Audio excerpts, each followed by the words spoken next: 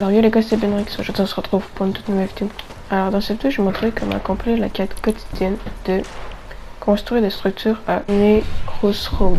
Donc la plupart d'entre vous se disent que c'est facile, mais c'est parce qu'il y en a plusieurs qui n'ont pas encore découvert cette ville, donc ils savent pas c'est où en fait. Quand vous cliquez dessus, on peut voir que c'est directement ici.